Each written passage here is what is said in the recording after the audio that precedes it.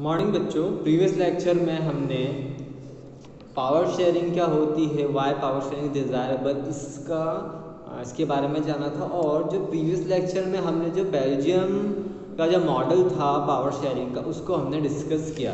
Okay आज हम forms of power sharing को डिटेल में पढ़ेंगे। Okay The idea of power sharing has emerged in opposition to notions of undivided political power. For a long time, it was believed that all power of a government must reside in one person or group of person located at one place. जब initially जब power sharing का concept आया तो जितने भी political powers थे उसमें कहीं ना कहीं they were divided because many many of them जो थे, वो ये चाहते थे कि नहीं, जो पावर जो है, होनी चाहिए गवर्नमेंट के अंडर में होनी चाहिए किसी स्पेसिफिक पर्सन या ग्रुप ऑफ़ पर्सन के पास ही होने चाहिए।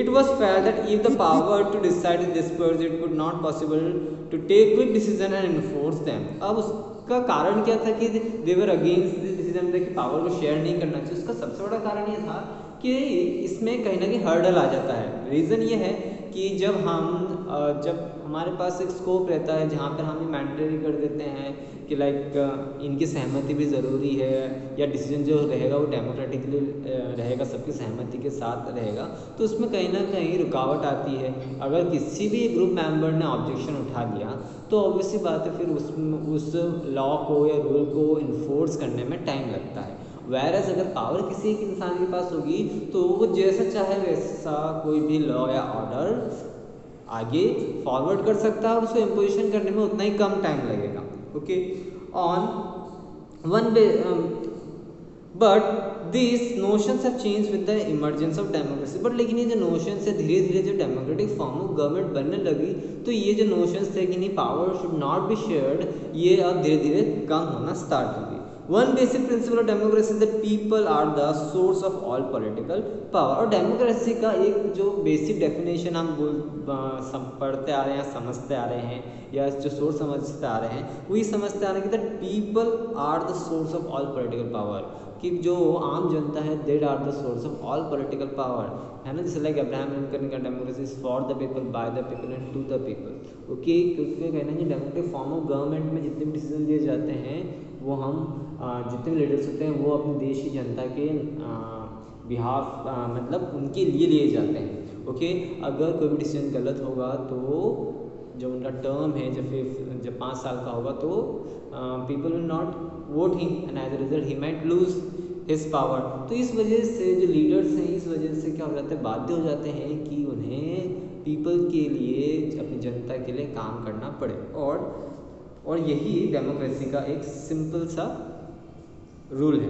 In a democracy people rule to institution of self government in a good democratic government due respect is given to diverse group and views that exist in a society और जहाँ पर भी democratic government अरे एक अच्छी democratic government not like the Sri Lankan democratic government अगर हम Belgium का ले लें तो वो एक अच्छे डेमोक्रेटिक फॉर्म ऑफ़ गवर्नमेंट है, जहाँ पर सभी डाइवर्स जो ग्रुप हैं, वहाँ पे जो डिफरेंट ग्रुप ऑफ़ पीपल्स हैं based on their language speaking उनकी वो ध्यान में रखते हुए वे वहाँ पर वो लोग गवर्नेंस कर रहे हैं। अगर कोई भी डिसीज़न इन फ्यूचर या आज के कार्यक्रम में लेना होता है तो दोनों जो डाइवर्स ग्रुप है Dutch speaking and the French speaking people उन दोनों की सहमति से कोई भी डिसीज़न लिया जाएगा। Every one has a voice in the shaping of public policies और सबके पास अपना अपने ओपिनियंस होते हैं okay Therefore, it follows that in a democratically a democracy, political power should be distributed among as many citizens as possible. इसीलिए democratic government में इतनी सारी मिनिस्ट्रीज होती हैं डिफरेंट मिनिस्ट्रीज होती हैं ताकि जो डेमोक्रेटिक पावर्स हैं वो प्रॉपरली शेयर हो जैसे लाइक हमारा तीन forms of form of government है ओके लेजिस्लेटिव जो कि हमारे लीडर्स होते हैं एग्जीक्यूटिव जो हमारे ब्यूरोक्रेट्स आई ऑफिसर्स होते हैं एंड लास्टली द जुडिशरी जो कि कोर्ट होता है। अगर इन दोनों में से किसी ने भी अपने पावर्स का गलत फ़ायदा उठाया तो कोई भी एक ऑर्गन उस पावर्स को सीमित कर सकता है या उस आ, उनको रोक सकता है। Okay in modern democracy power sharing arrangement can take many forms okay आज के मॉडर्न डेमोक्रेसी में पावर शेयरिंग जो है अलग अलग फॉर्म में की जाती है। किसी देश में अलग रूल्स एंड रेगुलेशंस हैं। ओके तो हम ये देखेंगे कि कौन कौन से अरेंजमेंट्स पावर शेयरिंग में बनाए गए। Now the first point is power share among different organs of government जब सबसे पहला कॉन्सेप्ट आता है कि पावर जो है डिफरेंट ऑर्गन्स ऑफ़ गवर्नमेंट में शेयर कर देने चाहिए just like the legislative executive and judiciary India is following the same form of power sharing legislative executive and judiciary let us call this horizontal distribution of power because it allows different organ government placed at the same level to exercise different power. और इनके पास different powers है। अगर हम देखें legislative के पास क्या है? वो नई स्कीम्स लॉन्च कर सकता है रूल्स एंड रेगुलेशन लॉन्च कर सकता है। एग्जीक्यूटिव का काम क्या होता है? इन स्कीम्स के क्या साइड इफ़ेक्ट होंगे? ये बताना उनको। कैसे इसको इम्प्लीमेंट करना है? और फाइनली कैसे ये इम्प्लीमेंट होगा? सब सारी ज़िम्मेदारी एग्जीक्यूटिव की होती है। और जुडिशियरी की इन केस अगर ये दोनों ऑर्गन मतलब हम ये बोल सकते हैं या फिर ये दोनों एग्जीक्यूटिव और लेजिस्लेटिव प्रॉपरली काम नहीं कर रहे हैं जुडिशरी यहाँ पे इंटरफेयर करके उन, उनको यू नो बता सकती है कि that you are not doing the good thing या उसको प्रॉपरली किया जाए। Such separation ensure that none of the organs can exercise unlimited power और ऐसी सेपरेशन ऑफ़ पावर या ऐसे पावर शेयरिंग में एक फ़ायदा ये होता है कि कोई भी एक ऑर्गन क्या हो करता है? अपना अनलिमिटेड पावर को एक्सरसाइज नहीं करता है, यानी कि नाजायज़ फ़ायदा नहीं उठाता है। पावर्स का क्यों? कहीं ना कहीं वो लिमिटेड होता है कि अगर उसने अपनी लिमिट क्रॉस करी तो there are two other organ जो कि उनको रोक सकते हैं। This relates This relates in a balance of power among various institution. Each organ can check the orders. सारे organs एक दूसरे के जो orders वो लोग देते हैं, उसको check करते हैं।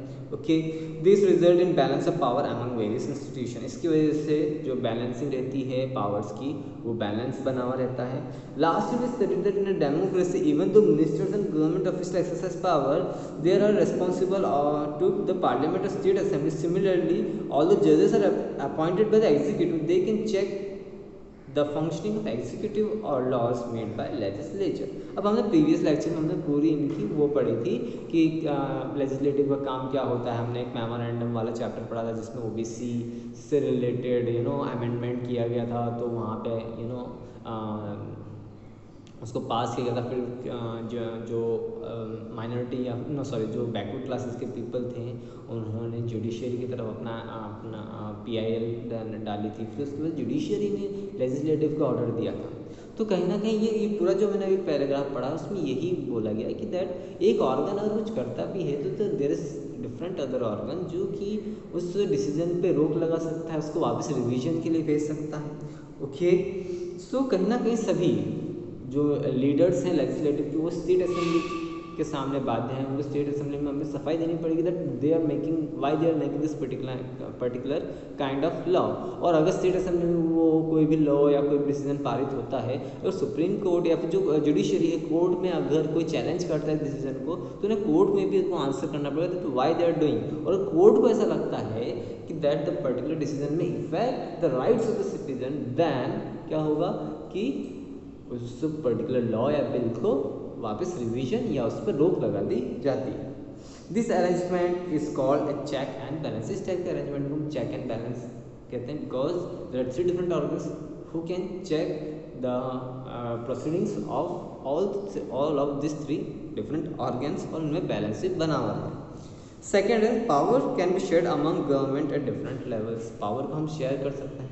गवर्नमेंट में डिफरेंट लेवल्स में जैसे लाइक हमारे यहाँ सेंट्रल गवर्नमेंट फिर स्टेट गवर्नमेंट ये डिफरेंट लेवल्स ऑफ़ गवर्नमेंट ये ऐसा नहीं है कि पूरे इंडिया को सेंटर से चला दिया। डिफरेंट स्टेट्स डिफरेंट स्टेट्स में डिफरेंट जो चीफ मिनिस्टर्स होते हैं, वो अपने गवर्नमेंट को अपने तरीके से रन कर सकते हैं। ऐसे जो भी कुछ नेशनल मैटर होता है, उसमें जो है सेंट्रल गवर्नमेंट हस्तक्षेप करती है। पर लेकिन जो स्टेट के जितने भी डिसीज़न होते हैं, वो कौन लेता है? State government okay A general government for the entire country and government at provincial or regional level. Such government, such general government for the entire country is usually called federal government. In India, we, ref, we refer to it as central or union government. The governments are at the provincial or different regional levels are called by different names in different countries. Okay okay? अलग अलग nation में इनके अलग नाम से हमारे यहाँ state government के नाम से हम जानते हैं बिकॉज़ हमने यहाँ पे जो डिफरेंट जो स्टेट्स उसको डिवाइड कर रखा था उसको स्टेट्स कहते हैं।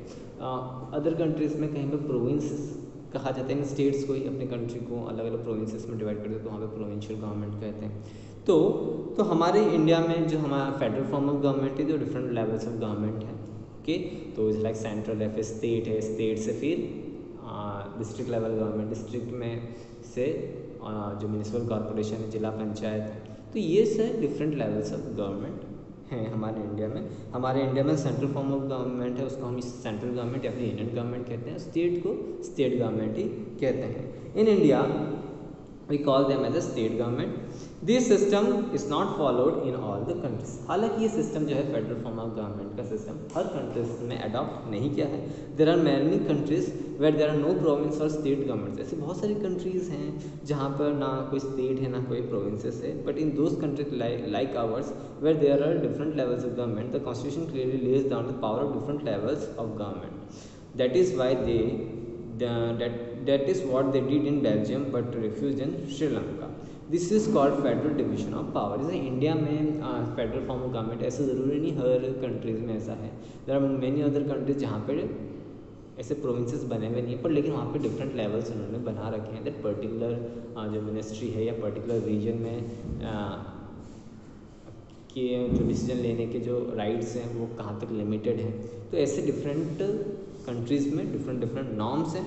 ओके जैसे लाइक बेल्जियम का हम एग्जांपल ले सकते हैं। बेल्जियम में अपने अंदर जो लैंग्वेज स्पीकिंग रीजन के हिसाब से उन्होंने स्टेट्स को डिवाइड कर रखा था वहाँ पे वो अपने उधर की कम्युनिटी के हिसाब से वो डिसीज़न ले सकते हैं। ओके श्रीलंका ने रिफ्यूज़ कर दिया था। ओके क्योंकि उन्होंने चाहा था कि हम पूरे आ, जो कंट्री है उसको एक फॉर्म ऑफ़ गवर्नमेंट से ही चलाए। रीजन वाइज जैसे जहाँ पर श्रीलंकन तमिल्स थे या फिर जो तमिल स्पीकिंग पीपल्स थे उनके राइट्स को उन्होंने नज़रअंदाज कर दिया था okay now the same principle can be extended to levels of government lower than state government such as municipality and panchayat और इसी इसी लेवल पर स्टेट गवर्नमेंट को हम और भी डिफरेंट लेवल्स में डिवाइड कर सकते हैं। सिटीज़ में म्यूनिसिपल कॉरपोरेशन लगता है या उसको म्यूनिसिपैलिटी कहा जाता है, और गाँव में पंचायत लगे जाती है, जिसको ग्राम पंचायत कहा जाता है।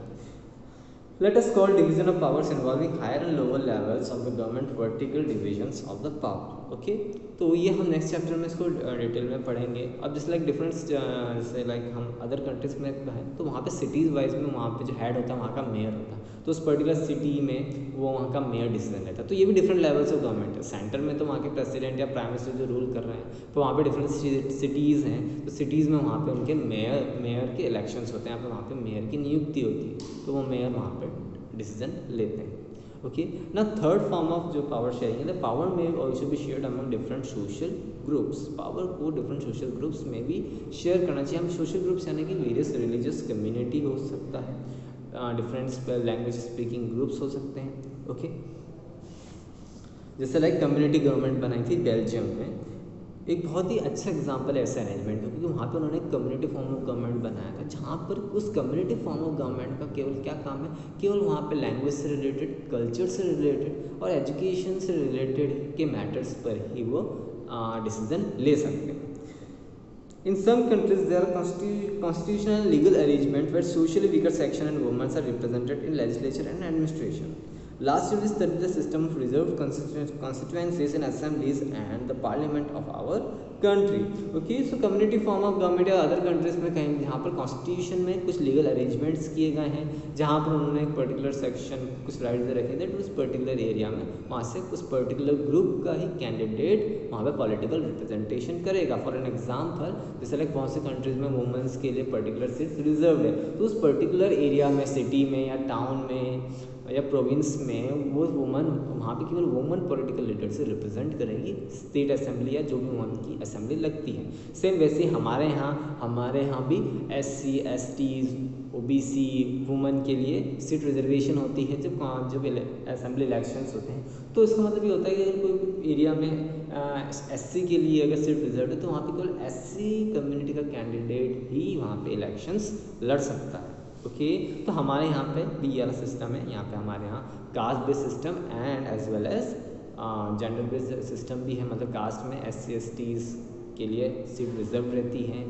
अब वुमेंस के लिए भी कुछ स्पेसिफिक सीट्स रिज़र्व रहती तो वहाँ से केवल एक वुमेन कैंडिडेट से इलेक्शन लड़ सकती हैं। तो इससे क्या होता है? This type of arrangement is mean to give space in the government administration to diverse social group इससे क्या होता है जो डाइवर्स सोशल ग्रुप्स हैं, या जिनके राइट्स इन पास्ट डिप्राइव कर रखे हों तो इससे क्या होता है, अगर कोई पर्टिकुलर एरिया कोई सोशल ग्रुप का इंसान अगर पॉलिटिकली एक्टिव रहेगा तो वो उस अपने उस पॉलिटिकल ग्रुप अपने सॉरी सोशल ग्रुप के लिए बहुत अच्छा कर सकता है। मान लो कि एक ऐसे कैंडिडेट है जिसके साथ इन पास उनके राइट्स डिप्राइव किए गए हों बट लेकिन इन प्रेजेंट अगर वो ऐसी कैंडिडेट ऐसी कम्युनिटी का कैंडिडेट पॉलिटिकल पावर्स में आएगा तो अपनी कम्युनिटी को अपलिफ्ट कर पाएगा। तो कहीं ना कहीं इससे डाइवर्ट जो सोशल ग्रुप होते हैं, उनकी अपलिफ्टमेंट में मदद मिलती है गवर्नमेंट तक कोई उनका ऐसे रिप्रेजेंटेटिव हो जाता है जो कि उनकी प्रॉब्लम्स जो प्रॉब्लम्स वो फेस कर रहे हैं, वो गवर्नमेंट तक पहुँचा सके।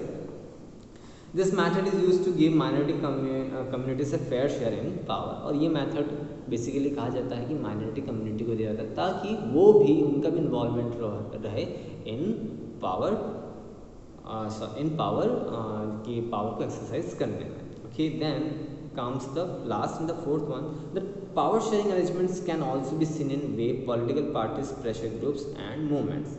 Control influence those in power अब पावर शेयरिंग एक तरीके से हम political parties pressure groups non government organisations इनके जो मूवमेंट्स करते हैं, आंदोलन करते हैं, जब गवर्नमेंट कोई भी डिसीज़न ले लेती है, जो कि यू नो माई मतलब इन कॉमन पीपल को हार्म कर सकता है। तो हम देखते हैं हमारे कंट्री में आज भी मूवमेंट्स आंदोलन होते हैं। In democracy the citizen must have freedom to choose among various contenders for power इसके साथ साथ जो इलेक्शंस होते हैं तो उसमें जो डिफरेंट ग्रुप्स होते हैं पॉलिटिकल पार्टीज़ होती हैं तो उसमें जनता चुनती है। तो ये कहीं ना कहीं पॉलिटिकल पार्टीज़ हो गए प्रेशर ग्रुप्स हो गए मोमेंट्स हो गए, सब इसी में आते हैं। यानी कि इलेक्शन इलेक्शन जो इलेक्शन होता है, वो भी होना चाहिए पावर शेयरिंग में। क्योंकि कहीं ना कहीं डेमोक्रेटिक फॉर्म ऑफ़ गवर्नमेंट उसे ही कहा जाता है, जहाँ पे वहाँ के इंसान अपने लीडर को खुद इलेक्ट कर सके ओके और कहीं ना कहीं वो अपना, खुद अपने हिसाब से चुने कि कौन हमें अगले पाँच सालों तक हम पर रूल करेगा और हमारे बिहार पर डिसीज़न लेगा। In contemporary democracy this takes the form of competition among different parties okay इससे होता क्या है कि एक पार्टी दूसरी पार्टी के साथ कम्पीट करती है अपने पार्टी को बेहतर दिखाने की कोशिश करती है बेहतर काम करती है जनता के लिए। बिकॉज़ अगर बेहतर काम करेगी तो ही उससे नेक्स्ट ईयर चुना जाएगा। तो कहीं ना कहीं एक कंपटीशन भी बिल्ड होता है और पार्टीज़ जो होती है पोलिटिकल पार्टीज़ कहना कि बाध्य होती है कि वो अच्छा काम करे। अगर वो अच्छा काम करना बंद कर देंगी तो ऑब्वियसली बात है the peoples not going to elect this political parties again. Such competition ensures that power does not remain in one hand. और इस तरीके का कॉम्पिटिशन कहीं ना कहीं ये भी दिखाता है कि पावर किसी एक हाथ में नहीं रहती है। है ना? हर पाँच साल में एक चांस मिलता है पीपल्स को कि वो अपने गवर्नमेंट को चेंज कर सके और गवर्नमेंट जो है किसी दूसरे पार्टी या दूसरे के हाथों में जाती है। In the long run power share among different political parties represent different ideologies and social group sometime this kind of sharing can be direct wait two or more parties from an alliance to contest election कभी कभी आपने ये देखा होगा ना alliance होते हैं coalition government बनती है। तो कोलेशन गवर्नमेंट में कभी कभी देखा जाता है दैट जब दो पार्टीज़ आपस में समझौता करके या गठबंधन करके सरकार बनाती तो उनमें भी ये होता है कि दैट पर्टिकुलर पार्टी से मिनिस्ट्री में इतने रहेंगे पर्टिकुलर पार्टी से मिनिस्ट्री में इतने रहेंगे, या इक्वली वो लोग उनके मिनिस्टर्स बनाएँगे।